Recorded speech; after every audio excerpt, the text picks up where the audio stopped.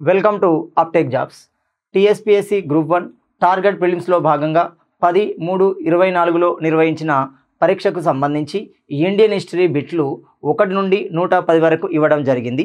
దీనికి సంబంధించిన complete explanation ఇప్పుడు చూద్దాం. ఒకటో క్వశ్చన్ గమనిస్తే arrange the following in the chronological order based on the period occurrence అంటున్నాం. అంటే క్రింది వాటిని వాటి కాలం ఆధారంగా వరుస క్రమంలో అమర్చండి అంటున్నాం. ఈ టైప్ ఆఫ్ క్వశ్చన్ చాలా ఇంపార్టెంట్ ఇక్కడ గమనిస్తే వాటిని ఇచ్చిన వాటిని వాటి వరుస క్రమంలో అమర్చాలి. అంటే వాటి యొక్క సంవత్సరాల ఆధారంగా మనం అమర్చాల్సి ఉంటుంది. ఒకటో దాంట్లో ఏమిచ్చాడు మొదటి పానిపట్టు యుద్ధం ఇచ్చాడు. సెకండ్ వన్ గమనిస్తే మొదటి కర్ణాటక యుద్ధం ఇచ్చాడు. మూడోది గమనిస్తే మొదటి ఆంగ్లో మైసూర్ యుద్ధం ఇచ్చాడు. నాలుగోది గమనిస్తే మొదటి ఆంగ్లో సిక్కు యుద్ధము ఇచ్చాడు. ఇక్కడ క్లియర్గా గమనిస్తే వరుస క్రమంలో అమర్చబడినాడు. ఇలాంటి వాటిని మనం ట్యాకిల్గా చేయవచ్చు. ఏ విధంగా అంటే అందులో లాస్ట్ది కానీ ఫస్ట్ది కానీ మనం మొట్టమొదటిసారిగా గుర్తించాలి. ఇందులో మొదటి ఆంగ్లో సిక్కు వాళ్ళు అంటున్నాము. మనకు eighteen hundred చిల్లరలో eighteen forty five forty eight మధ్య మనకు రెండు ఆంగ్లో సిక్కు యుద్ధాలు అనేవి నిర్వహించబడతాయి. తద్వారా పంజాబ్ రాజ్యం అనేది బ్రిటిష్ పాలిత ప్రాంతంలోకి రావడం జరుగుతుంది. సో మనకి ఇక్కడ ఏమవుతుంది? సిక్కు యుద్ధం అనేది చివరిలో ఉండాలి. అంటే డి అనేది చివరిలో ఉండాలి. నాలుగు ఆప్షన్లో డి అనేది చివరిలో ఎక్కడ ఉంది? గమనిస్తే మనకి ఒకటో ఆప్షన్లో ఉంది. చూడండి ఇది ఆన్సర్ అవుతుంది. సో ఇది కరెక్టా కాదా మనం చెక్ చేసుకోవడానికి? ఏమంటున్నాం? మొదటి పానిపట్టు యుద్ధము అంటున్నాం. సాధారణంగా పానిపట్టు యుద్ధాలు మనకి మూడు జరుగుతున్నాయి. అందులో పదిహేను ఇరవై ఆరు ఒకటి పదిహేను యాభై ఆరు ఒక రెండు పదిహేడు అరవై ఒకటి మూడు అవుతున్నాయి. కాబట్టి ఇక్కడ ఇచ్చింది ఏంది మొదటి పానిపట్టు యుద్ధము అంటున్నాడు. పదిహేను వందల ఇరవై ఆరు అంటున్నాం. ఇది మొదటి స్థానంలోనే ఉండాలి. ఏ అనేది మొదటి స్థానంలోనే ఉండాలి. ఉంది కదా ఏ అనేది మొదటి స్థానంలోనే?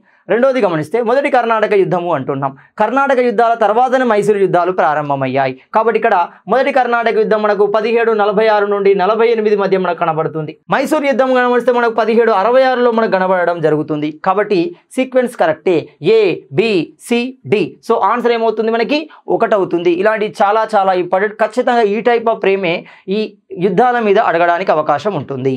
రెండవ క్వశ్చన్ గమనిస్తే which of the following is incorrect statement అంటున్నాం. అంటే క్రింది వాటిలో సరికాని వాక్యం ఏది అంటున్నాం. అది వాక్య లేదా వాక్యం ఏది అంటున్నాం. కాబట్టి ఇలాంటి ప్రశ్నలకు మనం గమనిస్తే నాలుగు ఆప్షన్లు చదవాల్సి ఉంటుంది. అందులో ఖచ్చితంగా కానిది ఏదో గుర్తించాలి. చాలా లోతుగా మనం విషయాన్ని గమనించాలి. ఫస్ట్ మనం గమనిస్తే WC Banerjee was the first Indian to the president over the Indian National Congress అంటున్నాం. అంటే భారత జాతీయ కాంగ్రెస్కి అధ్యక్షత వహించిన తొలి భారతీయుడు అంటున్నాం. The first Indian WC Banerjee అవును. ఎందుకంటే పద్దెనిమిది ఎనభై ఐదు డిసెంబర్ ఇరవై ఎనిమిదవ తేదీన మనకి ఐఎన్సి యొక్క మొట్టమొదటి సమావేశం బొంబాయిలోని గోకుల్ దాస్ తేజ్పాల్ సంస్కృత్ కళాశాలలో నిర్వహించబడుతుంది. దానికి మనకి డెబ్బై రెండు మంది ప్రతినిధులు దేశం యొక్క నలుమూల నుండి ప్రతినిధులుగా రావడం జరుగుతుంది. అలాంటి సమావేశానికి అధ్యక్షత వహించింది డబ్ల్యూసి బెనర్జే. సార్ సాధారణంగా ఐఎన్సీని ఏర్పాటు చేసింది ఎవరు అంటున్నాం? ఏవో హ్యూమ్ అవుతున్నాడు. కానీ అధ్యక్షుడు ఎవరు అంటే డబ్ల్యూసి బెనర్జే. ఈ స్టేట్మెంట్ కరెక్టే. అడిగింది ఏంటి ఇక్కడ క్లియర్గా? సరి కాని అడిగాడు. రాంగ్ స్టేట్మెంట్ అడుగుతున్నాడు. రెండోది గమనిస్తే Sarojini Naidu was the first women to president over the Indian National Congress అంటున్నాం. అంటే భారత జాతీయ కాంగ్రెస్కి అధ్యక్షత వహించిన తొలి మహిళ అంటున్నాం. ఏమంటున్నాం ఇక్కడ? సరోజిని నాయుడు అంటున్నాం. ఈ క్వశ్చన్ కొద్దిగా లోతుగా గమనించండి అర్థమవుతుంది. భారత జాతీయ కాంగ్రెస్కి అధ్యక్షత వహించిన తొలి మహిళ ఈమె తొలి మహిళ కాదు. తొలి భారతీయ మహిళ అవుతుంది. మరి తొలి మహిళ ఎవరవుతున్నారు? అనిబిసెంట్ అవుతుంది. పంతొమ్మిది పదిహేడు కోల్కతా సమావేశంలో ఈమె ఎక్కడ ఉంటుంది? పంతొమ్మిది ఇరవై ఐదు కాన్పూర్ సమావేశానికి అవుతుంది. సో అడిగింది ఎక్కడ? రాంగ్ స్టేట్మెంట్ అంటున్నాం. ఇది రాంగ్ స్టేట్మెంటే. మూడోది గమనిస్తే భారత జాతీయ కాంగ్రెస్కి అధ్యక్షత వహించిన తొలి పార్షీ మతాస్తుడు ఎవరు అంటే దాదాభాయ్ నవరోజీ ఈ స్టేట్మెంట్ కరెక్టే. He was the Parsi religion fourth one గమనిస్తే Abdul Kalam Azad was the youngest president over the Indian National Congress ఇది కూడా కరెక్టే ఢిల్లీ సమావేశానికి అధ్యక్షత వహిస్తాడు. అది ప్రత్యేకమైన సమావేశం అవుతుంది.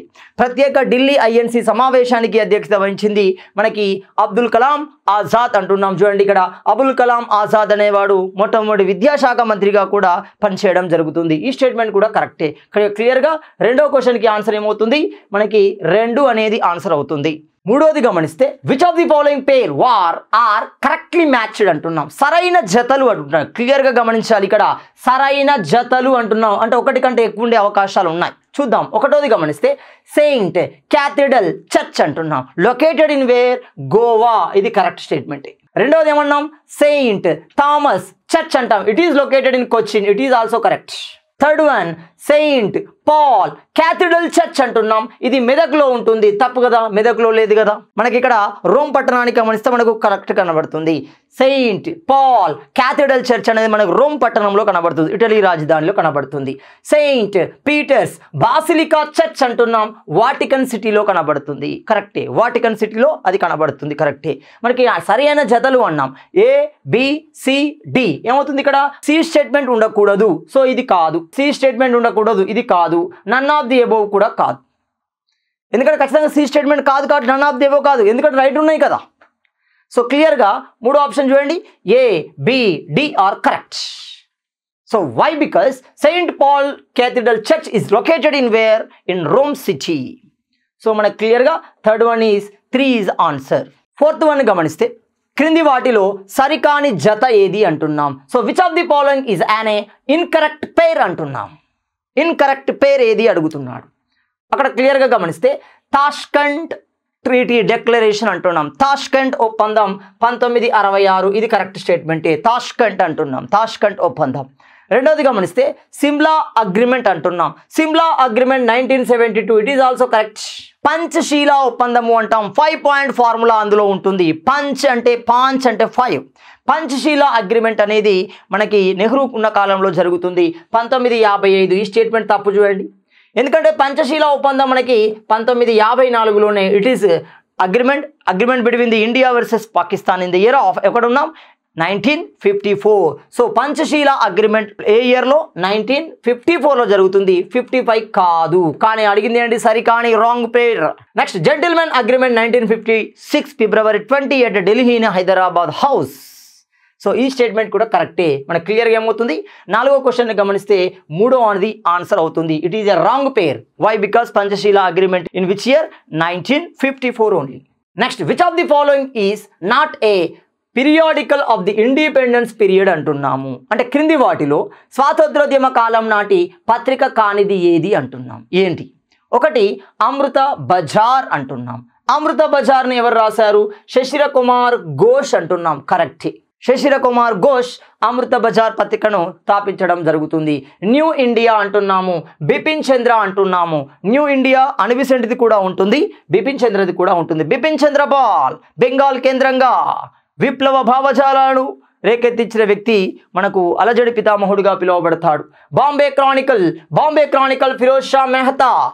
ఇతని పైన చెప్పులు విసిరినందుకే మనకు సూరత్ స్ప్లిట్ అనేది వస్తుంది. సో బాంబే క్రానికల్ ఫిరోజ్ షా మెహతా కరెక్టే. ప్రతాప్ అంటున్నాము. ప్రతాప్ ఎవరు? లాలా లజపతి రాయ్. స్టేట్మెంట్ తప్పు. అడిగింది కూడా ఏమంటున్నాం? పత్రిక కానిది అంటున్నాము. So which of the not periodical independence news paper so ఐదో క్వశ్చన్కి ఏమవుతుంది? నాలుగోది ఆన్సర్ అవుతుంది. Sixth question which of the following pair are correctly matched అంటున్నాం. అంటే క్రింది వాటిలో సరైన జతలు ఏవి అంటున్నాం. ఒకటి సంధ్యా పత్రిక. సంధ్యా మ్యాగజైన్ ఎవరు? బీబీ ఉపాధ్యాయ పద్మ బాంధోపాధ్యాయ అంటున్నాం. రెండవది గమనిస్తే సోమప్రకాష్ పత్రిక న్యూస్ పేపర్ ఈశ్వరచంద్ర విద్యాసాగర్ అంటున్నాం. మూడోది వందే మాతరం మ్యాగజైన్. వందే మాతరం పత్రికను ఏర్పాటు చేసింది ఎవరు అంటున్నాము? ఇక్కడ క్లియర్గా అరబిందో ఘోష్ అంటున్నాము. అరబిందో ఘోష్ అనేవాడు దీనికి ఎడిటర్గా మాత్రమే వ్యవహరించడం జరుగుతుంది. He was not a founder so Vande Mataram originally founded by the madam Bhikaji Cama Bipin Chandrapal so Talwar Barendranath Chattopadhyay it is also correct statement so అడిగింది ఏంటి రైట్ స్టేట్మెంట్స్ అడుగుతున్నాడు రైట్ పేర్స్ అడుగుతున్నాడు. A is the right pair B is the right pair D is the right pair అంటే మనకు రావాల్సింది ఏంటిది? A B D అనేది రావాలి. సో మనకేమవుతుంది? థర్డ్ ఆప్షన్ అనేది కరెక్ట్ అవుతుంది. సిక్స్త్ క్వశ్చన్కి థర్డ్ ఆప్షన్ అనేది కరెక్ట్ అవుతుంది. Which of the following pair are incorrectly matched అంటున్నాం. సరికాని జత అడుగుతున్నాడు చూడండి. ఏంటి సరికాని జత? ఒకటి సుధారక్ పత్రిక అంటాం. గణేష్ అగార్కర్ అంటున్నాం. గణేష్ అగార్కర్ అంటున్నాం. జీజీ అగార్కర్ అవుతున్నాడు చూడండి. అంటే బాలగంగాధర్ తిలక్తో కలిసి కేసరి పత్రిక ఏర్పడడంలో క్రియాశీలకంగా ఉన్న వ్యక్తి ఈ గణేష్ అగార్కర్ సుధారక్ పత్రికను ఏర్పాటు చేశాడు. So correct statement. Second one Bengal gazette. Bengal gazette James Hicky's. James Hicky. ఇది మొట్టమొదటి మ్యాగజైన్గా మొట్టమొదటి పేపర్గా పిలువబడుతుంది. కోల్కతా కేంద్రం నుండి ప్రారంభించబడడం జరుగుతుంది. Next Hindu patriot. Hindu patriot ఎవరు ఏర్పాటు చేశారు? గిరిచ్ చంద్ర ఘోష్ ఏర్పాటు చేయడం జరుగుతుంది. It is also correct statement next independent pendent అంటున్నాం. ఇండిపెండెంట్ని ఏర్పాటు చేసింది జవహర్లాల్ నెహ్రూ కాదు. ఈ స్టేట్మెంట్ తప్పు. రైట్ ఇండిపెండెంట్ని ఏర్పాటు చేసింది మనకి బిఆర్ అంబేద్కర్ దగ్గరికి వస్తుంది. Wrong pair. సో ఏడవ క్వశ్చన్కి ఆన్సర్ నాలుగు అవుతుంది. Next which of the following pair are incorrectly matched అంటున్నాం. సరికాని జత ఏది అడుగుతున్నాడు. మళ్ళీ సరికాని జత ఏది అడుగుతున్నాడు చూడండి. రాంగ్ పేర్ అడుగుతున్నాడు. ఒకటి మహామాన్య అంటున్నాం. ఏంటి మహామాన్య? ఎవరి యొక్క బిరుది title belongs to? Madan Mohan Malaviya అంటున్నాం. మదన మోహన మాలవ్య అంటున్నాం. రెండు లోకమాన్య అంటున్నాం. లోకమాన్య బాలగంగాధర్ తిలక్ దీనబంధు చిత్తరంజన్ దాస్. ఈ స్టేట్మెంట్ తప్పు చూడండి. దేశబంధు చిత్తరంజన్ దాస్. దీనబంధు ఆండ్రూస్. సో మనకి ఇది స్టేట్మెంట్ తప్పు అడిగింది కూడా అదే. షాగిది ఈ ఆజం భగత్ సింగ్ కరెక్ట్ సో అడిగిన స్టేట్మెంట్ ఏంటి? సరికాని స్టేట్మెంట్ అడుగుతున్నాడు కాబట్టి ఎనిమిదో క్వశ్చన్కి answer so third one is the right answer అవుతుంది. తొమ్మిది క్రింది వాటిలో సరికాని వాక్య ఏది అంటున్నాం? So which of the following statement are incorrect అంటున్నాం? అంటే క్రింది వాటిలో సరికాని వాక్య ఏది అడుగుతున్నాడు? ఏంటి? ఒకటి భగవద్గీతను ఆంగ్లంలోకి అనువదించిన వారు చార్లెస్ విల్కిన్సన్. ఈ statement correct so he was translated Bhagavad Gita into English Charles Wilkinson. The second statement వేదాలను ఉపనిషత్తులను ఆంగ్లంలోకి అనువదించిన వారు Max Muller. It is statement also right why because Max Muller translated Vedas Upanishad into the English language the third one భగవద్గీతను Persian భాషలోకి అనువదించిన వాడు వేద వ్యాసుడు it is wrong statement why because Veda వ్యాసుడు వ్యాసుడు వేద వ్యాసుడు ఏం రాస్తున్నాడు? మహాభారతం రాస్తున్నాడు. So Bhagavad Gita it is not road by Veda Vyasa statement is wrong the fourth statement మహాభారతాన్ని పర్షియన్ భాషలోకి అనువదింపచేసిన వాడు Max Muller it is statement wrong who is the real person Mahabharata translated into Persian by the Dara Shikoh who is Dara Shikoh he was the son of Shahjahan Shahjahan యొక్క కుమారుడు దారా ఈ మహాభారతాన్ని పరిశీలనలోకి రాయడం జరుగుతుంది. So third and fourth statement is wrong C D అనేది రాంగ్ ఎక్కడుంది సి డి అనేది మనకు నైన్త్ క్వశ్చన్ గమనిస్తే సిడి కనబడుతుంది. Fourth option is the right option next tenth one గమనిస్తే. So which of the following pairs are incorrect క్రింది వాటిలో సరికాని జత ఏది అడుగుతున్నాడు? ఒకటి బ్రహ్మ సమాజ్ అంటున్నాం. So Brahmo Samaj established by who is one Brahmo సమాజం రాజా రామ్మోహన్ రాయ్ ఎట్ కోల్కతా బ్రహ్మ సమాజం అంటాం. ఆత్మీయ సభ బ్రహ్మ సమాజం బ్రహ్మ సమాజ మందిరం ఇలా ఏర్పాటు చేసిన వ్యక్తి ఎవరు అంటే Raja Rammohan Roy it is right statement second one Veda సమాజం Sridhar Naidu it is also right statement third one Arya Samaj Arya Samaj established by Dayananda Saraswati in the year of eighteen seventy five at where in Bombay Mumbai కేంద్రంగా ఏర్పాటు చేశాడు ఆర్య సమాజాన్ని Dayananda Saraswati next fourth one Prarthana సమాజం అంటాం ఈ ప్రార్థనా సమాజాన్ని MG Ranade ఏర్పాటు చేశాడు తప్పు he was not a founder he was a supporter only so under the guidelines of under the pressure of under the pleasure of who is the pleasure Keshava Ishwarchandra Vidyasagar Keshava Chandrasen especially Keshava Chandrasen. Keshava Chandrasen యొక్క భావాల వల్ల ప్రభావితానికి గురి అయిన వ్యక్తి ఈ ప్రార్థనా సమాజాన్ని ఏర్పాటు చేస్తాడు. That person known as Atmaram Pandurang. So Atmaram Pandurang created a Prarthana Samaj with help of MG Ranade అలాంటి వ్యక్తుల యొక్క సహకారం తీసుకుంటాడు తప్ప ప్రార్థనా సమాజాన్ని ఏర్పాటు చేసింది ఎవరు అంటే ఆత్మారాం పాండురంగ. సో అడిగిన క్వశ్చన్ ఏంటి మనకి? సరికాని సో టెన్త్ వన్కి ఏమవుతుంది? Fourth option is the right option అవుతుంది. నమస్కారం. అప్టెక్ జాబ్స్కి స్వాగతం. సో మీరందరూ టెస్ట్ రాశారు కదా? మరి దాంట్లో కరెంట్ అఫైర్ క్వశ్చన్స్ మేబీ కొంతమందిని ఇబ్బంది పెట్టి ఉండొచ్చు. కొంతమందికి చాలా ఈజీగా అనిపించి ఉండొచ్చు. కొంతమందికి మిక్స్డ్ ఒపీనియన్ ఉండొచ్చు. ఒకవేళ మీకు ఇది బాగా ఈజీగా అనిపిస్తే కనుక వెల్ అండ్ గుడ్ మీ ప్రిపరేషన్ ఇలానే కొనసాగిస్తూ ఉండండి. ఒకవేళ మీకు మిక్స్డ్ ఒపీనియన్గా అనిపిస్తే it's okay every day is not our day but what we try to do is మనం చేయగలిగింది మన అవుట్పుట్ ఇవ్వగలిగింది బెస్ట్ మనం ఇస్తాం. అండ్ ఎవరైతే నాకు ఇది కొంచెం నిజంగానే కష్టంగా ఉందని అనుకుంటున్నారో నథింగ్ టు వరీ ఇది ఇంకా ఎర్లీ స్టేజే కాబట్టి మీరు హ్యాపీగా ఇంకా కొంచెం హార్డ్ వర్క్ చేయండి ఇంకొంచెం ప్రాక్టీస్ చేయండి. ఖచ్చితంగా మీరు అనుకున్నది మీరు సాధిస్తారు. మరి ఏదైతేనే టెస్ట్ వన్కి సంబంధించి నూట పదకొండవ ప్రశ్న నుంచి నూట ముప్పై ప్రశ్న వరకు. Question number one eleven to question number one thirty were all of current affairs మరి కరెంట్ అఫైర్స్ సెక్షన్కి సంబంధించిన ప్రశ్నలు వాటికి సంబంధించిన ఆప్షన్స్ అలానే వాటికి సంబంధించిన ఆన్సర్ ఇవన్నీ కూడా ఇప్పుడు డీటెయిల్గా డిస్కస్ చేద్దాం. సో నా let's look at question number నూట పదకొండు. అబ్జర్వ్ ద ఫాలోయింగ్ సో ఇక్కడ చూస్తుంటే మ్యాచ్ ద ఫాలోయింగ్ ఇచ్చారు. ఇటువైపు ఒక జాబితా ఉంది ఇటువైపు ఒక జాబితా ఉంది. ఇక్కడ జాబితాలో తుఫాన్ సైక్లోన్ అంటున్నారు. సో బేసిక్గా ఇవన్నీ సైక్లోన్ పేర్లు. Yaas Amphan Nisarga Tauktae. ఇటువైపు ఏమో ఆ పేరు పెట్టిన దేశాలు ఇచ్చారు. అంటే ఈ నాలుగిట్లో ఈ నాలుగిట్లో ఏదో ఒక పేరుని ఈ నాలుగిట్లోనే ఏదో ఒక దేశం పెట్టింది అని. సో ఇప్పుడు బేసిక్గా ఏంటి? ఏ తుఫాన్ పేరుని ఏ దేశం పెట్టిందని మనం మ్యాచ్ చేయాలి. అంతే కదా? ఓకే. ముందుగా అసలు ఇటువైపు ఏమన్నా చూద్దాం. యాస్ అంఫాన్ ఈ అంఫాన్నే ఉంఫాన్ అని కూడా పిలుస్తూ ఉంటారు. నిసర్గ అలానే తౌక్తి. సో యాస్ పేరు ఏదైతే ఉందో అది ఇచ్చింది ఓమన్. సో యాస్ వచ్చేసి ఓమన్. ఓకే. తర్వాత అంఫాన్ వచ్చేసి థాయిలాండ్ ఇచ్చిందనమాట అలా మీరు జాగ్రత్తగా గుర్తుపెట్టుకోండి. యాస్ అనేది పర్షియన్ భాషకి సంబంధించింది. ఓమన్ అటువైపు వెస్ట్ ఏషియాలో అటువైపు భాగమే కదా. సో బేసిక్గా పర్షియన్ భాషలో యాస్ అంటే జాస్మిన్ అని అర్థం అనమాట సో తర్వాత అంఫాన్ దగ్గరికి వచ్చేసి ఈ పేరు ఇచ్చింది థాయిలాండ్. అంఫాన్ అంటే దాని యొక్క అర్థం స్కై ఆకాశం అని అర్థం. సో మనకి వన్ టూ రెండు దొరికేసాయి. ఇప్పుడు ఒకసారి చెక్ చేద్దాం. సో వన్ సి ఉండాలి టూ ఏ ఉండాలి. వన్ సి ఎక్కడ ఉంది? ఇక్కడ ఉంది ఓకే ఇక్కడ కూడా ఉంది. టూ ఏ ఉండాలి టూ ఏ ఉంది టూ డి ఉంది. సో ఇది మన ఆన్సర్ సో ఏదైతేనే మిగిలిన ఆప్షన్స్ కూడా ఒకసారి చూద్దాం. నిసర్గా వచ్చేసి బంగ్లాదేశ్ నిసర్గ పదం యొక్క అర్థం ప్రకృతి నేచర్ అని. అలానే తౌక్తి అనే పేరు ఇచ్చింది మటుకు Myanmar. So four will be D four will be D ఇందుకే తౌక్తి ఈ పదం యొక్క అర్థం ఏంటి అని అంటే గెకో. మేబీ చాలామంది వినుండకపోవచ్చు కొంతమంది వినుండొచ్చు. ఇప్పుడు మామూలుగా మనందరికీ బల్లి తెలుసు కదా అదేనండి లిజర్డ్ గోడ మీద పాకుతూ ఉంటుంది చాలామంది అనే అని భయపడుతూ ఉంటారు. సో ఆ బల్లి జాతికి సంబంధించి కొంచెం పెద్ద బల్లి అనమాట గెకో అని ఉంది.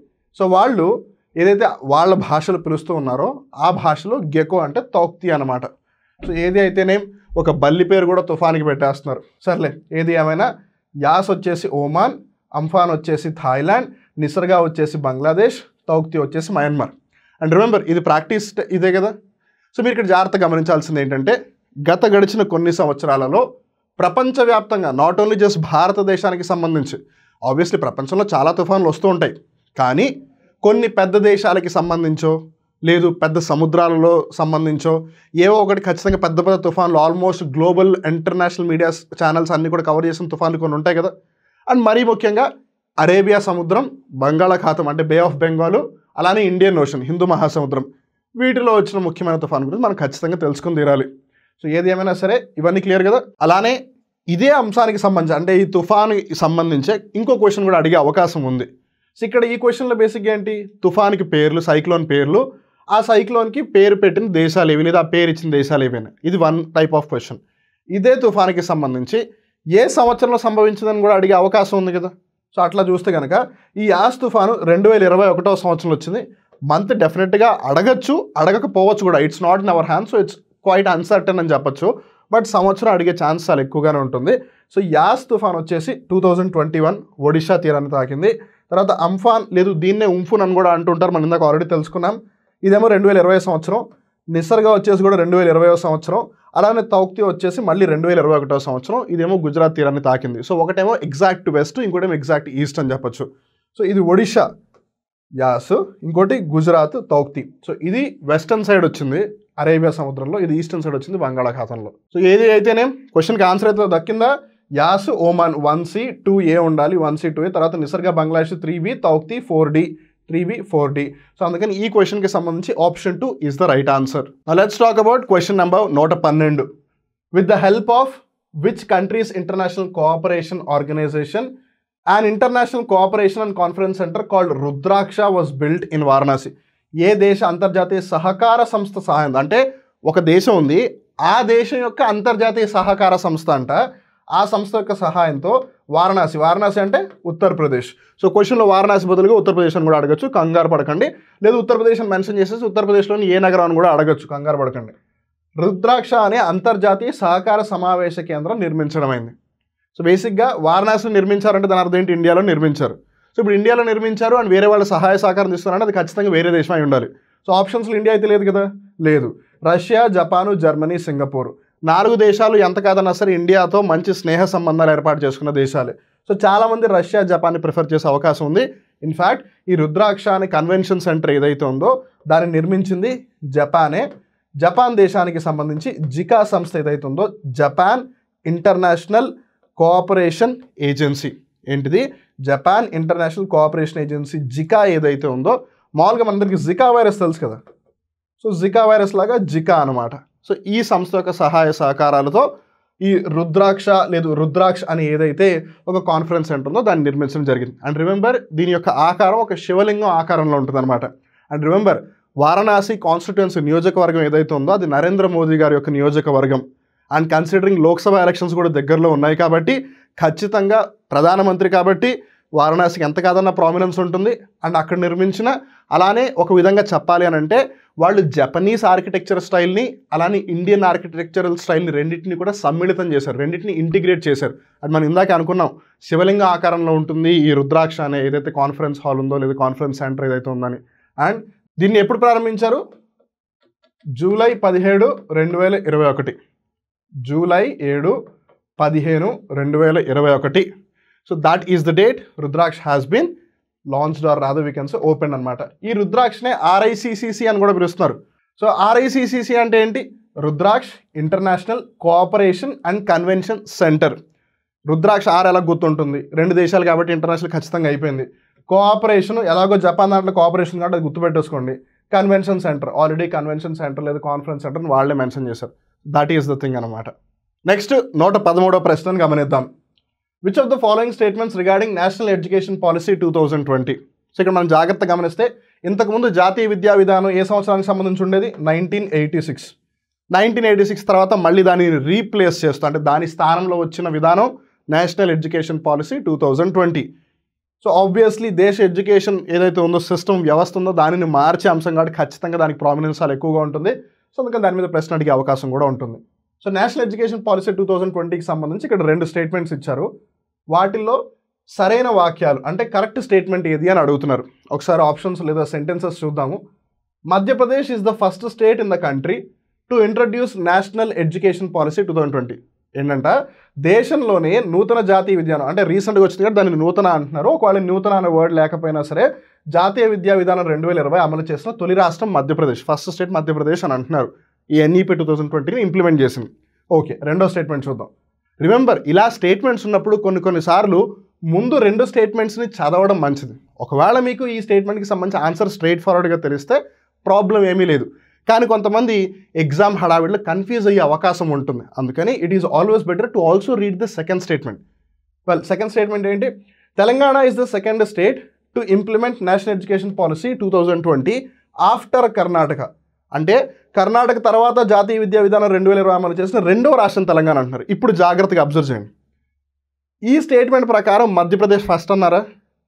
ఈ స్టేట్మెంట్ ప్రకారం తెలంగాణ రెండవ రాష్ట్రం అంటున్నారు. తెలంగాణ రెండవ రాష్ట్రం అండ్ దానికన్నా ముందు ఏ స్టేట్ ఉంది అంటున్నారు? కర్ణాటక. ఆ లెక్కన కర్ణాటక ఫస్ట్ అయి ఉండాలి. సో నేను ఇందాక అందుకే మీతో అన్నాను. It is always better to read both the statements అని. ఎందుకనంటే కొన్ని కొన్నిసార్లు మనం ఆ హరిబరిలో మనం చదివిందే కరెక్ట్ అని అనుకుంటాం. మనకి తెలిసింది కరెక్ట్ అని కాదు. సో అందుకని it is always better to go for that so ఇక్కడ జాగ్రత్త గమనిస్తే ఇప్పుడు ఈ స్టేట్మెంట్ కరెక్ట్ అంటే బై డిఫాల్ట్ ఈ స్టేట్మెంట్ తప్పు అయిపోతుంది. ఎందుకు? తెలంగాణ సెకండ్ స్టేట్ దానికన్నా ముందు కర్ణాటక ఉంది అంటే కర్ణాటక ఫస్ట్ అయినట్టు. సో అప్పుడు ఆబ్వియస్లీ మధ్యప్రదేశ్ ఫస్ట్ అయ్యే ఛాన్సే లేదు. ఒకవేళ మధ్యప్రదేశే ఫస్ట్ స్టేట్ అని అనుకుంటే కనుక అప్పుడు ఈ స్టేట్మెంట్ ఖచ్చితంగా రాంగ్ అయిపోతుంది. దట్ ఈస్ ద బ్యూటీ అందుకే క్వశ్చన్ ఇప్పుడు జాగ్రత్తగా చదవాలి. So okay anyways coming back ఇప్పుడు నిజంగా ఫస్ట్ స్టేట్ ఏది? ఈ స్టేట్మెంట్ ప్రకారం కర్ణాటకనా? ఈ స్టేట్మెంట్ ప్రకారం Madhya Pradesh? So national education policy two thousand ట్వంటీని implement చేసిన మొట్టమొదటి రాష్ట్రం ఏదయ్యా అని అంటే కర్ణాటక రాష్ట్రం. Karnataka is the first state to implement national education policy two thousand twenty. And now comes the second state. Second state వచ్చేసి Madhya Pradesh. So ఇప్పుడు సీక్వెన్స్ని జాగ్రత్త గుర్తుపెట్టుకోండి. ఫస్ట్ స్టేట్ ఏమో కర్ణాటక. సెకండ్ స్టేట్ ఏమో మధ్యప్రదేశ్. థర్డ్ వచ్చేసి యూపీ. ఫోర్త్ వచ్చేసి తెలంగాణ ఫిఫ్త్ వచ్చేసి మహారాష్ట్ర సిక్స్త్ వచ్చి AP. Maybe fifth fourth sixth అక్కడ దాకా వెళ్ళకపోవచ్చు.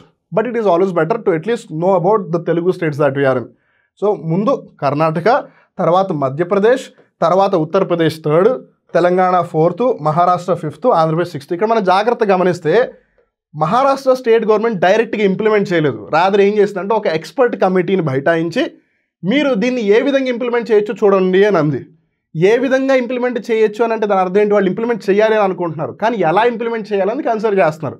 వేరాస్ ఆంధ్రప్రదేశ్లో ఒకటి మనం కన్సిడర్ చేసాం అనుకోండి ఫర్ ఎగ్జాంపుల్ వాళ్ళు ఏమంటున్నారు?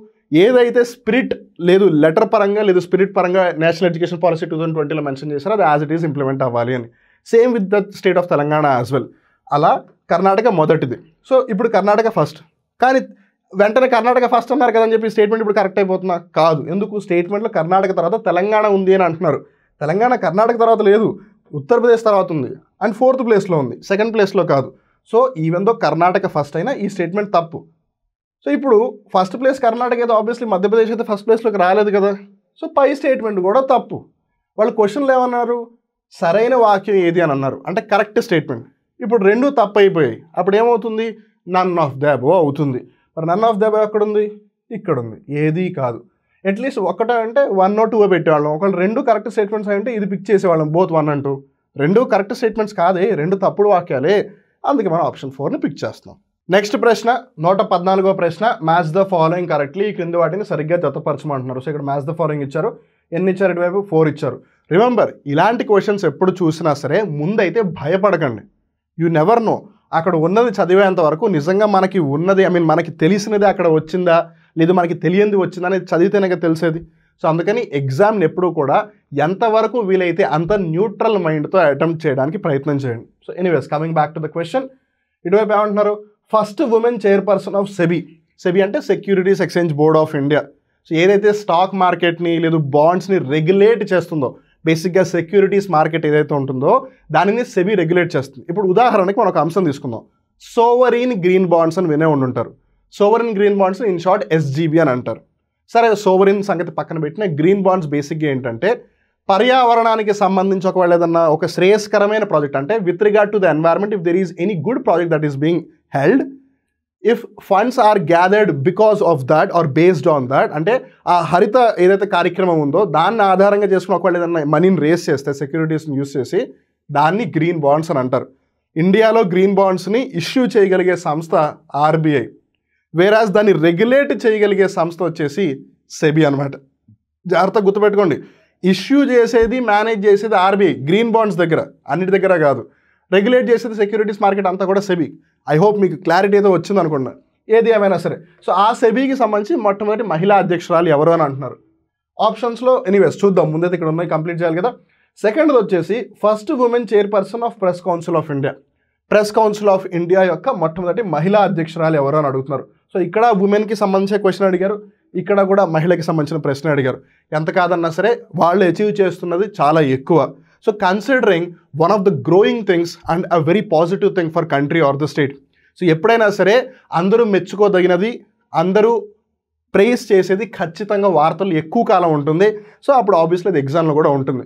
సో అదనమాట విషయం. ఏది ఏమైనా థర్డ్ వచ్చేసి first women director general of CSIR council of scientific and industrial research okay fourth వచ్చేసి appointed as the first women VC of JNU JNU అంటే జవహర్లాల్ నెహ్రూ యూనివర్సిటీ వీసీ అంటే వైస్ ఛాన్సలర్ సో బేసిక్గా నలుగురు కూడా మహిళల గురించి అడిగారు. I mean four options are related to women options చూద్దాం. మాధవి పురి బుచ్ రంజనా దేశాయ్ నలతంబి కలైసెల్వి శాంతిశ్రీ దూలపూడి. సో ఇక్కడ జాగ్రత్త గమనిస్తే first women chairperson of SEBI ఎవరు? సెబీ యొక్క మొట్టమొదటి మహిళా అధ్యక్షురాలు ఎవరు అని అంటే కనుక మదబీ పురి బుచ్ గారు. అలానే తర్వాత మనం ఒకవేళ ప్రెస్ కౌన్సిల్ ఆఫ్ ఇండియా యొక్క మొట్టమొదటి మహిళా అధ్యక్షురాలను గమనిస్తే కనుక జస్టిస్ రంజనా ప్రకాష్ దేశాయ్ గారు. అఫ్ కోర్స్ ఇక్కడ రంజనా దేశాయ్ అని మటుకే ఉంది కానీ జస్టిస్ రంజనా ప్రకాష్ దేశాయ్ గారు. సో అంటే two is B so one is A two is B so ఇప్పుడు ఆప్షన్స్ ఒకసారి చూద్దాం. కరెక్ట్ ఆప్షన్స్ అడుగుతున్నారు కదా. So one is A okay one A one A one A okay fine అంటే దీని అర్థం మేబీ ఇది కొంచెం ఈజీ అయి ఉండొచ్చు. అందుకే అన్ని ఆప్షన్స్ అలానే ఉన్నాయి. ఎనీవేస్ మనకి సెకండ్ది కూడా తెలుసు. Two B two B two C two B okay either అయితే వన్ అయి ఉండాలి లేదు త్రీ అయి ఉండాలి. ఓకే ఫైన్ ఇంకా రెండు చూద్దాము. First women director of CSIR council of scientific and industrial research సంస్థ యొక్క మొట్టమొదటి మహిళా డైరెక్టర్ జనరల్ ఎవరు అని అడుగుతున్నారు. And that is Nallathambi Kalai Selvi garu. ఇక్కడ మనం జాగ్రత్తగా గమనిస్తే ఈవిడ department of scientific and industrial research అనే డిపార్ట్మెంట్ ఏదైతే ఉందో దానికి సెక్రటరీగా కూడా వ్యవహరిస్తున్నారు. And she is the only fourth women scientist to be a secretary for a scientific and industrial research department అనమాట సో బేసిక్గా సిఎస్ఐఆర్లో డిఎస్ఐఆర్ అని ఒక డిపార్ట్మెంట్ ఉంది. Department of scientific and industrial research అని. దానికి ఈవిడ సెక్రటరీగా కూడా ఉన్నారు along with this post so అలా మహిళల్లో ఎవరైతే శాస్త్రవేత్తలుగా ఉన్నారో వాళ్ళల్లో ఈవిడ నలతంబి కలైసెల్వి గారు నాలుగో మహిళా శాస్త్రవేత్త అనమాట దానికి సెక్రటరీగా ఉండడానికి. సో ఏది ఏమైనా సరే three is C so three C three D మనకి మన answer దొరికేసింది. So on the basis of that who is the first women VC of JNU Santishree Dhulipudi Pandit garu. Of course again ఇక్కడ పండిట్ అనే పేరు లేదు but Shantisri Dhulipudi Pandit అనేది ఆవిడ పూర్తి పేరు అనమాట మేబీ కొన్ని కొన్నిసార్లు శాంతిశ్రీ పండిట్ అని కూడా అనొచ్చు సో కన్ఫ్యూజ్ అవ్వకండి. సో ఏది ఏమైనా సరే ఫస్ట్ ఉమెన్ చైర్పర్సన్ ఎవరు? సెబీకి మహిళా అధ్యక్షురాలు ఎవరు? మొట్టమొదటిది అంటే మదవీపురి బుచ్ గారు. అలానే ప్రెస్ కౌన్సిల్ ఆఫ్ ఇండియాకి మొట్టమొదటి మహిళా అధ్యక్షురాలు ఎవరు అంటే జస్టిస్ రంజనా ప్రకాష్ దేశాయ్ గారు. సిఎస్ఐఆర్కి మొట్టమొదటి మహిళా డైరెక్టర్ జనరల్ ఎవరు అని అంటే నలతంబి కలైసెల్వి గారు. అలానే జవహర్లాల్ నెహ్రూ యూనివర్సిటీకి మొట్టమొదటి మహిళా వైస్ ఛాన్సలర్ ఎవరు అని అంటే కనుక శాంతిశ్రీ ధూలిపూడి పండిట్ గారు. సో అందుకని త్రీ సి రావాలి ఫోర్ డి రావాలి త్రీ సి ఫోర్ డి ఇది ఆన్సర్ తర్వాత క్వశ్చన్ చూద్దాం. నూట పదిహేనవ ప్రశ్న which of the following sentences is are incorrect ఏవైతే సరికాని వాక్యాలన్న వాటిని గుర్తించండి అని అడుగుతున్నారు. సో మనకి కరెక్ట్ స్టేట్మెంట్స్ అవసరం లేదు. ఇన్కరెక్ట్ స్టేట్మెంట్స్ కావాలి. చూద్దాం. ఎన్ని స్టేట్మెంట్స్ ఇచ్చారు? రెండు ఇచ్చారు. ఓకే ఫస్ట్ది ఏంటిది? ఈపీఎఫ్ఓ అంటే employee provident fund organisation launched a massive outreach programme through the revamped Nidhi Aapke Nikat programme to expand its presence across the country అంటే దేశవ్యాప్తంగా తన ఉనికిని విస్తరించుకునేందుకు. ఎవరి ఉనికిని? ఈపీఎఫ్ యొక్క ఉనికిని. అంటే నేను ఉన్నాను అని తెలియడం కోసం పునరుద్ధరించిన నిధి ఆప్కే నిఖత్ కార్యక్రమం ద్వారా ఈపీఎఫ్ఓ సంస్థ భారీ అవుట్ రీచ్ కార్యక్రమాన్ని ప్రారంభించింది. దీన్ని స్పెసిఫిక్గా చెప్పాలంటే డిస్ట్రిక్ట్ అవుట్ రీచ్ ప్రోగ్రామ్ అని కూడా పిలుస్తూ ఉంటారు. కన్ఫ్యూజ్ అవ్వకండి. సో ఇక్కడ భారీ అవుట్ రీచ్ అన్నారు. సో భారీ అవుట్ రీచ్ బదులు డిస్ట్రిక్ట్ అవుట్ రీచ్ అని ఇచ్చినా కన్ఫ్యూజ్ అవ్వద్దు. సో ఏది ఏమైనా సరే ఈపీఎఫ్ఓ నిధి ఆప్కే నిఖత్కి సంబంధించి రీవ్యాంప్డ్ వర్షన్ అంటే టూ పాయింట్ వన్ తీసుకువచ్చి ఎక్కువ మందికి రీచ్ అవుతుందా? ఇది కరెక్ట్ స్టేట్మెంట్ అంటే ఎస్ ఇది కరెక్ట్ స్టేట్మెంట్ ఇది సరైన వాక్యమే. మరి రెండవ స్టేట్మెంట్ చూద్దాము. SEBI securities exchange board of India will issue sovereign green bonds ఓ చూసారా? వాట్ ఎ కో ఇన్సిడెన్స్ మన ఇప్పుడు ఒక జనరల్ స్టేట్మెంట్ లాగా మదబీపురి బుచ్ గారు లేదు first women chairperson of SEBI గురించి డిస్కస్ చేసినప్పుడు అన్నాము. ఉదాహరణకి సోవరిన్ గ్రీన్ బాండ్స్ అని. ఇక్కడ వచ్చేసింది చూసారా? So sovereign green bonds government తరపున ఆన్ బిహాఫ్ ఆఫ్ గవర్నమెంట్ ఎవరు ఇష్యూ చేస్తారు? మనకు ఆల్రెడీ తెలుసు. ఎవరు ఇష్యూ చేస్తారు? RBI reserve bank of India చేస్తుంది జాగ్రత్త గుర్తుపెట్టుకోండి. ఇష్యూ చేసేది ఇష్యూ వాడికి సంబంధించి మేనేజ్ కూడా చేసేది ఆర్బీఐ. కానీ రెగ్యులేట్ చేసేది అంటే నియమ నిబంధనలను తీసుకొచ్చేది మటుకు సెబీ. జారీ చేసేది మటుకు ఆర్బీఐ. జాగ్రత్త గుర్తుపెట్టుకోండి. సో ఏది ఏమైనా సరే ఇప్పుడు ఇది రైట్ స్టేట్మెంట్ అంటే ఇది రాంగ్ స్టేట్మెంట్ ఎందుకు? సెబీ కాదు ఇట్స్ ఆర్బీఐ. వాళ్ళు ఇక్కడ ఏమని అడిగారు? రాంగ్ స్టేట్మెంట్ని ఐడెంటిఫై చేయండి అని అన్నారు. ఇది రైట్ స్టేట్మెంట్ ఇది wrong statement so option only two రెండు మాత్రమే ఏదైతుందో అది సరైన జవాబు.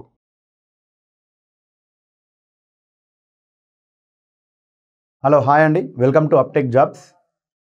ఇక్కడ టీఎస్పిఎస్సి గ్రూప్ వన్లో టార్గెట్ ప్రిలిమ్స్లో టెస్ట్ వన్ అనేది మనం tenth three two thousand twenty ఫోర్లో కండక్ట్ చేయడం జరిగింది కానీ దాంట్లో ఇక్కడ జిఎంఏలో క్వశ్చన్స్ వచ్చేసి one thirty one to one fifty వరకు మన క్వశ్చన్స్ అంటే ట్వంటీ క్వశ్చన్స్ ఇవ్వడం జరిగింది. దానికి సంబంధించినటువంటి కీ పేపర్ ఎక్స్ప్లెనేషన్ అనేది ఇక్కడ మనం క్లియర్గా చూద్దాం. అండ్ ఇంకొకటి విషయం ఏంటంటే ఇప్పుడు మనం ఏవైతే ట్వంటీ క్వశ్చన్స్ ఇచ్చామో ఇప్పుడు టెస్ట్ వన్ కాబట్టి మీలో కొంచెం పాజిటివిటీ నింపడం కోసం అండ్ మీరు క్వశ్చన్స్ అన్నీ కూడా అటెంప్ట్ చేయాలనే ఉద్దేశంతో మనం బేసిక్ లెవెల్ నుండి క్వశ్చన్స్ అనేవి అడగడం జరుగుతుంది. సో ఇప్పుడు మనం రానున్న టెస్టులలో టెస్ట్ టూ టెస్ట్ త్రీలో మనం కండక్ట్ చేస్తూ వస్తాం కదా ఆ రానున్న టెస్టులలో మనకు కొంచెం ఇంకా డెప్త్గా మనం వె- వెళ్ళడానికి ఛాన్స్ ఉంటుంది. సో ఇక్కడ ఈ ఫస్ట్ ఏదైతే మనం ఈ టెస్ట్ కండక్ట్ చేస్తున్నాం దీంట్లో మనం బేసిక్ లెవెల్ నుండి పూర్తిగా కవర్ చేస్తూ step by step hard paper అనేది ప్రిపేర్ చేయడం జరుగుతుంది. సో ఈ క్వశ్చన్ పేపర్లో ఏవైతే మనం ట్వంటీ క్వశ్చన్స్ ఇచ్చామో అవి ప్రతి ఒక్కరు కూడా అన్ని క్వశ్చన్స్ అటెంప్ట్ చేశారని చెప్పేసి అనుకుంటున్నాను. ఒకసారి మీరు దానికి సంబంధించినటువంటి ఏమైనా చిన్న చిన్న మిస్టేక్స్ ఏమైనా మీరు చేసి ఉంటే దానికి సంబంధించిన కరెక్షన్స్ అనేవి చూసుకోవచ్చు మీరు ఇక్కడ ఈ ఎక్స్ప్లెనేషన్లో సో ఇప్పుడు చూద్దాం. సో ఫస్ట్ ఇక్కడ వన్ థర్టీ వన్ క్వశ్చన్ నుండి మనకు స్టార్ట్ అవుతుంది కదండి. ఇందులో వన్ థర్టీ వన్ క్వశ్చన్ వచ్చేసి a boat moves from a jetty towards east after sailing for nine nautical miles after sailing for nine nautical miles she turns towards right and covers another twelve nautical miles if she wants to go back to the jetty what is the shortest distance now from her present position. ఆమె present position నుండి జట్టీకి ఎంత దూరం shortest distance ఎంత అనేది find out చేయాలి. So ఇక్కడ చూడండి ఒక పడవ జట్టి నుండి తూర్పు వైపు కదులుతుంది. నైన్ నాటికల్ మైల్స్ ప్రయాణించిన తర్వాత పడవ కుడి వైపునకు తిరిగి మరో పన్నెండు నాటికల్ మైల్స్ పూర్తి చేస్తుంది. జట్టికి పడవ తిరిగి వెళ్ళాలనుకుంటే పడవ ప్రస్తుతం ఉన్న స్థానం నుండి అతి తక్కువ దూరం ఎంత అని అడగడం జరిగిందండి. After sailing nine nautical miles in the direction of east. So that boat travels how many nautical miles? 9 nautical miles it has traveled in the direction of uh, east they given. She turns towards right. After that she turns towards the right direction and traveled for how many nautical miles? 12 nautical miles. So this is the 12 nautical miles it has traveled. Now from this position, from this position to this starting position, this is a jetty position. So the distance between, the shortest distance between these two positions so final position her final position the boat final position is here final position and here jetty at here so the shortest distance between these two points, we don't know, right? You can consider like x nautical miles. Now here you can apply the Pythagoras theorem to find the answer. x is equal to under root of 12 square plus uh, 9 square. 12 square is equal to how much? 144 plus 9 square is equal to how much? 81. That is equal to root uh, 225. Root 225 value is how much? 15. So 15 nautical miles. What is the correct option? Fourth one. 15 nautical miles is the shortest distance between the jetty and her final position at here. Nitin's age was equal to square of some number last year and uh, the following year it would be cube of a number. So previous year means last year the square of the number is nothing but his age and next uh, following year it would be the cube of uh, the number they given. If again Nitin's age has to has to be equal to the cube of some number, then for how long he will have to wait? That is the question ఇక్కడ ఏమన్నారండి నితిన్ వయస్సు గత సంవత్సరంలో ఒక సంఖ్య యొక్క వర్గానికి సమానం మరియు ఆ తర్వాతి సంవత్సరం అది ఒక సంఖ్య యొక్క క్యూబ్ అవుతుంది అంటే గణానికి ఈక్వల్ అవుతుంది మళ్ళీ నితీష్ వయస్సు ఏదో ఒక సంఖ్య క్యూబ్కి సమానం కావాలంటే క్యూబ్కి అంటే ఏంటంటే గణానికి సమానం కావాలంటే తను ఇంకెంతకాలం వెయిట్ చేయాలి అంటే ఆగాలి. అది క్వశ్చన్. మీరు అబ్జర్వ్ చేసినట్లయితే now actually present what is is age that we don't know. You can consider that is age. For example X years. Now present age is for example you can consider X years. Last year means one year before his age will be how much? His age would be square of some number. Square of some number. And after after one year his age will be cube of some number the given మీరు ఒకసారి observe చేసినట్లయితే మీరు perfect square values ఉన్నాయి కానీ perfect square values and perfect cube values మీరు compare చేస్తే ఇక్కడ చూడండి వన్ ఇయర్ బిఫోర్ అంటే ఇక్కడ for example one year before అతని ఏజ్ ఎంత? Square of some number one year after cube of some number will be his age అంటే ఇక్కడ వన్ ఇయర్ ఇక్కడ ఈ ఇక్కడ నుండి ఇక్కడికి వన్ ఇయర్ తక్కువ ఉండాలి అండ్ ఇక్కడ వన్ ఇయర్ ఎక్కువ ఉండాలి. But this one will be the square of the number and this one will be the cube of some number అన్నారు. అంటే ఇక్కడ డిఫ్ డిఫరెన్స్ ఎంత ఉండాలండి? ఇక్కడ నుండి ఇక్కడికి వన్ ఇయర్ అండ్ ఇక్కడ కూడా one year. One year one year. Total difference ఎంత ఉండాలి? Only two years. అంటే టూ నెంబర్. అంటే పర్ఫెక్ట్ స్క్వేర్ వాల్యూకి అండ్ పర్ఫెక్ట్ క్యూబ్ వాల్యూకి మధ్యలో ఎంత డిఫరెన్స్ ఉండాలి? ఓన్లీ టూ ఉండాలి. అలాంటి నెంబర్స్ ఏమున్నాయి మీరు ఒకసారి అబ్జర్వ్ చేసినట్లయితే మాకు టూ స్క్వేర్ అంటే ఫోర్ త్రీ స్క్వేర్ అంటే nine four square is sixteen five square is twenty five. And అలాగే ఇక్కడ మన cube of number. One cube అంటే one two cube. Two cube అంటే eight three cube. Means twenty seven so ఇక్కడ మీరు observe చేసినట్లయితే ఇక్కడ దీనేమో పర్ఫెక్ట్ క్యూబ్ నెంబర్స్ అనుకోండి ఇక్కడ పర్ఫెక్ట్ స్క్వేర్ నెంబర్స్ అనుకుంటే. ఇక్కడ చూడండి ఈ రెండింటి మధ్యలో డిఫరెన్స్ ఎంత ఉంది? టూ ఉంది కదండి. సో ఇక్కడ ఏంటి? ఇక్కడ ట్వంటీ ఫైవ్ అని తీసుకుందాం. ఇక్కడ ట్వంటీ సెవెన్ అని తీసుకుందాం. సో ఈ రెండింటి మధ్యలో ఇక్కడ వన్ వన్ ఇయర్ అంటే కంప్లీట్ కరెక్ట్ డిఫరెన్స్ మనకు టూ ఇయర్స్ సరిపోయింది. అంటే ప్రజెంట్ ఏజ్ ఏంటి? One year ago is age will be twenty five years and after one year from now is age will be twenty seven years that we know now present age what is is present age present age present age is equal to how much twenty six years present age will be how much twenty six years if again Nitin's age has to be equal to equal to the cube of some number cube of some number then for how long he will have to wait next వచ్చేది కూడా ఏంటి? Cube cube of some number ఉండాలంట. అలా రావాలంటే తను ఎంతకాలం wait చేయాలంటే ఇక్కడ ఏంటండి? ట్వంటీ సెవెన్ మనకి ఎలా వచ్చింది? Three cube three cube is nothing but twenty seven next వచ్చేది ఏంటండి? Four cube four cube is equal to how much four cube అంటే సిక్స్టీ ఫోర్ కదండి? సిక్స్టీ ఫోర్ ప్రజెంట్ ఏజ్ ఏమో ట్వంటీ సిక్స్ ఇయర్స్ ఉంది. And తర్వాత వచ్చే perfect cube value ఏముంది మనకి? ట్వంటీ సెవెన్ తర్వాత వచ్చేది ఏముంది? మనకు సిక్స్టీ ఫోర్ ఉంది. అంటే how long he have to wait అంటే sixty four minus twenty six ఏమొస్తుందండి మనకి? థర్టీ ఎయిట్ వస్తుంది so thirty eight years you have to wait to get his age again to get perfect cube of some number so ఇక్కడ ఏంటి thirty eight years కదండి so second option two is the correct one a player holds thirteen cards of four suits of which seven are black in colour seven are black in colour and six are red there are twice as many diamonds as spades and twice as many hearts as diamonds. How many clubs does he hold? ఒక ఆటగాడు నాలుగు సూట్ల పదమూడు కార్డులను కలిగి ఉన్నాడు. అంటే thirteen cards ఈ హోల్డ్ అందులో మొత్తం నాలుగు సూట్ల కార్డ్స్ ఉన్నాయన్నమాట. వాటిలో ఏడు నలుపు రంగు మరియు ఆరు ఎరుపు రంగులో ఉంటాయి. స్పేడ్స్ కంటే రెట్టింపు డైమండ్స్ మరియు డైమండ్స్ కంటే రెండు రెట్లు ఎక్కువ హార్ట్స్ ఉన్నాయి. అతను ఎన్ని క్లబ్స్ కలిగి ఉన్నాడు? అతని యొక్క చేతిలో ఎన్ని క్లబ్స్ కలిగి ఉన్నాడు అని చెప్పేసి క్వశ్చన్. ఇక్కడ చూడండి మనకు టోటల్ అతని చేతిలో ఎన్ని ఉన్నాయండి థర్టీన్ కార్డ్స్ ఉన్నాయి. So thirteen cards. యాక్చువల్ మన deck of cards. Deck of cards అంటే టోటల్ ఎన్ని కార్డ్స్ ఉంటాయి? Fifty two cards are there ఆ ఫిఫ్టీ టూ కార్డ్స్లోనే మనకి ఏముంటాయి hearts diamonds spades and clubs ఉంటాయి. అండ్ హార్ట్స్ అండ్ డైమండ్స్ ఏమో రెడ్ కలర్లో ఉంటాయి స్పేడ్స్ అండ్ క్లబ్స్ ఏ కలర్లో ఉంటాయి బ్లాక్ కలర్లో ఉంటాయి. సో ఇక్కడ ఏంటి? Four suits of cards he hold. So total ఇక్కడ మనకు ఉన్న కార్డ్స్ ఏంటండి అతని చేతిలో ఉన్న cards thirteen cards. Total how many cards? Thirteen cards. ఈ థర్టీన్ కార్డ్స్ అనేవి ఏమున్నాయి? Spades are there clubs are there these are the black colour cards. And next red colour cards. In red colour cards what are those? Hearts and diamonds. Hearts are there and diamond cards are also there. So totally these are the four suits so he hold only 13 cards out of this 13 cards what they given here seven are black color cards total how many black color cards are there seven black color cards are there and remaining six are red color cards remaining six are red colour cards అంటే ఇక్కడ spades and clubs ఇవి మొత్తం కలిపి seven ఉన్నాయి and hearts and diamonds ఇవి కలిపి మొత్తం ఎన్ని ఉన్నాయి సిక్స్ సిక్స్ ఉన్నాయి అన్నమాట ఈ సెవెన్లో for example you consider you can consider that for example number of spades is equal to x అనుకుందాం ఎందుకు number of spades is equal to x అనుకుంటున్నామంటే ఇక్కడ there are twice as many diamonds as spades so ఇక్కడ ఏంటి? Diamonds cards అనేవి మనకు spades cards కంటే రెట్టింపు cards ఉన్నాయని చెప్పేసి ఇవ్వడం జరిగింది.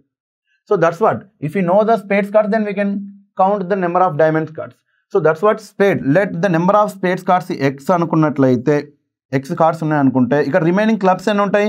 టోటల్ సెవెన్ కార్డ్స్ కదండి బ్లాక్ కలర్ కార్డ్స్ అందులో స్పేడ్స్ ఎక్స్ కార్డ్స్ అంటే క్లబ్స్ ఎన్ని ఉంటాయి? Seven minus x cards are there as clubs next ఇక్కడ కండిషన్ ఏమి ఇచ్చాడు ఇక్కడ the diamond cards are the twice the spades cards means there are twice as men as many diamonds as spades so number of diamond cards is equal to twice అంటే two times of the spades two times of the spades అంటే ఏంటి two into x two x cards are there the diamond cards so ఒక diamond cards ఎన్ని ఉన్నాయి two x cards are there and the given condition that and twice as many hearts as diamonds number of hearts is equal to twice of the diamonds twice of the diamond means twice అంటే two కదండి?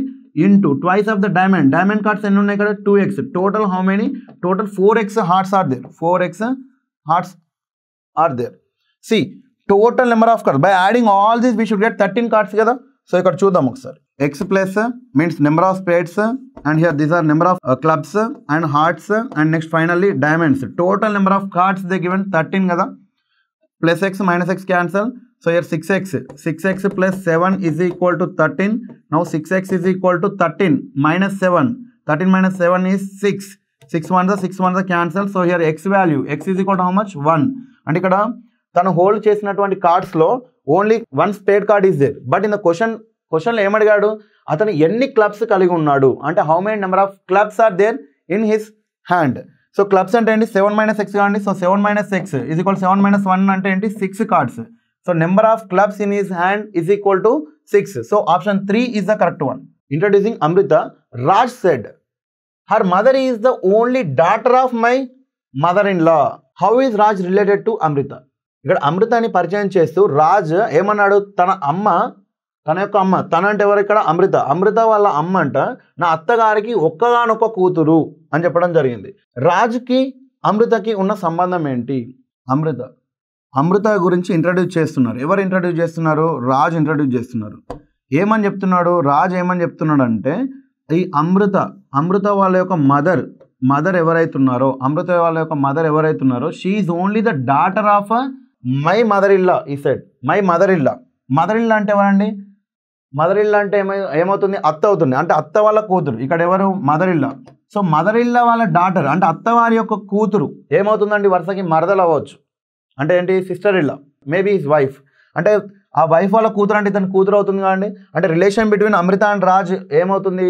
Father అంటే Raj is the father of Amrita so Raj is the father of Amrita is introducing Amrita that her mother her mother means Amrita's mother is the only daughter of my mother in law అంటే తన యొక్క అత్తగారి యొక్క కూతురు అంటే తన యొక్క wife అవుతుంది. ఆ వైఫ్ వల్ల పాప గురించి అంటే అమృత గురించి తను ఇంట్రడ్యూస్ చేస్తున్నాడు. అమృత అనే ఆమె ఏమవుతుంది? రాజ్కి కూతురు అవుతుంది కాబట్టి ఇక relation between them is husband father wife or uncle అంటే father option two is the correct one if Palam means P A L A M is coded as the number forty three what code number can be given to S A N T A C R U Z ఇక్కడ చూడండి. P A L A M number అంటే ఇది ఒక దీన్ని ఒక number forty త్రీగా కోడ్ చేయబడితే ఇక్కడ ఉన్నటువంటి వర్డ్ యొక్క కోడ్ అనేది ఏ నెంబర్గా మనం ఇవ్వవచ్చు అని చెప్పేసి అడిగాడండి. సో ఇక్కడ దీన్ని ఒకసారి మీరు అబ్జర్వ్ చేయండి క్లియర్గా P A L A M ఇచ్చాడు కదా. You know the numbers English లెటర్స్లో ఉన్నటువంటి పీకి నెంబర్ ఏంటంటే సిక్స్టీన్ కదా. సిక్స్టీన్ ఇవి ఒకసారి యాడ్ చేసి చూద్దాము మనకు ఫార్టీ త్రీ వస్తుందో లేదా. సిక్స్టీన్ ప్లస్ ఏ ఏ అంటే ఏంటి? వన్ ప్లస్ ఎల్ ఎల్ అంటే ఎంత అండి? Twelve plus A one plus M thirteen. ఇవన్నీ యాడ్ చేసి చూడండి ఒకసారి. Sixteen plus one seventeen. Seventeen twenty nine thirty forty three. So total forty three వస్తుంది. అంటే ఇక్కడ ఏంటి? ఇక్కడ ఇచ్చినటువంటి వర్డ్లో ఉన్న ఈచ్ లెటర్ యొక్క నెంబర్ని మనం యాడ్ చేస్తే మనకి ఇక్కడ ఆన్సర్ వస్తుంది. ఏంటంటే ఇక్కడ ఇచ్చినటువంటి వర్డ్ ఇది కదా? ఈ వర్డ్లో మనం ఒకసారి నెంబర్స్ని మనం తీసుకున్నట్లయితే S nineteen plus A one plus N. N is how much fourteen plus U twenty one plus Z twenty six.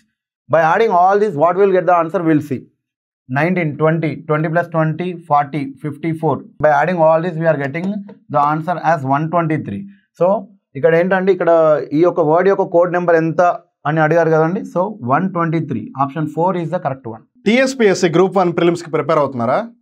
అయితే టైం చాలా తక్కువ ఉంది కదా. ఈ టైంని ప్రాపర్గా యూటిలైజ్ చేసుకుంటూ ఒక స్ట్రాటజిక్ వేలో మీ ప్రిపరేషన్ కొనసాగించాలి అని అనుకుంటే అప్టేక్ జాబ్స్ యాప్లో ఏదైతే సెక్షన్ వైజ్ టెస్ట్ సిరీస్ని ప్రొవైడ్ చేస్తున్నారో ఆల్రెడీ మార్చ్ టెన్త్ ఏదైతే స్టార్ట్ అయిందో దాన్ని ఇప్పుడే పర్చేస్ చేయండి. సో వీటికి సంబంధించి మీరు డెమో వర్షన్గా ప్రతి టెస్ట్లో కొన్ని క్వశ్చన్లను తీసుకుని డీటెయిల్ ఎక్స్ప్లెయిన్ చేయడం జరుగుతుంది. అది యూట్యూబ్లో అప్లోడ్ కూడా చేస్తారు. ఒకవేళ ఈ ఫుల్ కోర్స్ని మీరు అవైల్ చేసుకోవాలి అనుకుంటే కనుక అప్టేక్ జాబ్స్ యాప్లోకి వెళ్ళి మీరు కోర్సును పర్చేస్ చేయొచ్చు. సో దట్ మీకు దగ్గర దగ్గరగా సుమారు రెండు వేల ప్రశ్నలు వివిధ టెస్టుల రూపంలో వివిధ గ్రాండ్ టెస్టుల రూపంలో మీ ప్రిపరేషన్కి బాగా హెల్ప్ అవుతుంది. మరి ఇంకెందుకు ఆలోచిస్తున్నారు? వెంటనే యాప్టేక్ జాబ్స్ యాప్లోకి వెళ్ళి టీఎస్పీఎస్సీ గ్రూప్ వన్ ఫిలిమ్స్కి సంబంధించిన section wise test series with video explanation ఫీచర్ని ఇప్పుడే పర్చేస్ చేయండి. అండ్ అలానే ఈ section wise test series with video explanation మీరు కావాలి అంటే ఫోర్ నైంటీ నైన్ రూపీస్ సపరేట్గానే పర్చేస్ చేయొచ్చు. లేదు ఫుల్ కోర్స్తో పాటు రెండు వేల రూపాయలకైనా పర్చేస్ చేయొచ్చు. చాయిస్ ఈజ్ యువర్స్ బట్ ఖచ్చితంగా మీ ప్రిపరేషన్కి అయితే హెల్ప్ అవుతుంది.